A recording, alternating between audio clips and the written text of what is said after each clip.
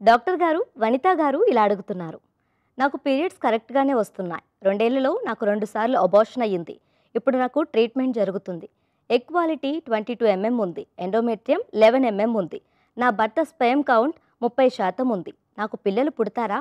అసలు నాకు ప్రెగ్నెన్సీ ఎందుకు రావడం లేదో తెలియజేయండి అని అడుగుతున్నారు. వనిత గారు ఆల్రెడీ టూ అబార్షన్స్ అయినాయని చెప్పారు. కానీ అది ఎన్ని వీక్స్ అబార్షన్స్ అనే దాని గురించి అనేది మెన్షన్ చేయలేదు.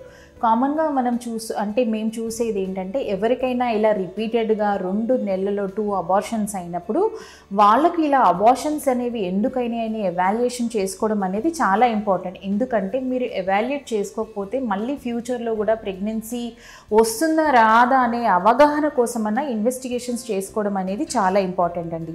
ఎవరికైనా ఇట్లా more than two pregnancies loss ఉన్నప్పుడు రికరెంట్ ప్రెగ్నెన్సీ లాస్ ప్రొఫైల్ అనేవి కొన్ని రకాల ఇన్వెస్టిగేషన్స్ అవి ఉంటాయి.